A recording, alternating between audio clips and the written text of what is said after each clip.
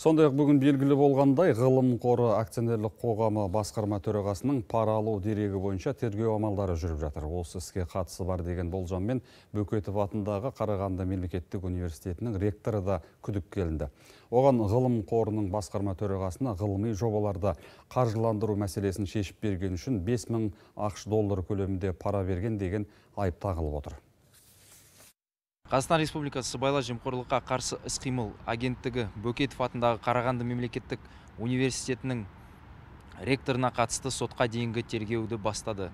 Ол қазақстан республикасының білім және ғылым министрлігі ғылым қоры акционерлік қоғамының басқарма бас төрағасына, ғылыми жобаларды қаржыландыруды оңды шешу және қамқорлығы үшін 5000 ақш доллары сомасында пара берумен күдіктеледі. Бұған дейін хабарланғандай ғылым қоры акционерлік қоғамының басқарма төрағасына қатысты пара алу фактісі бойынша тергеу жалғасуда.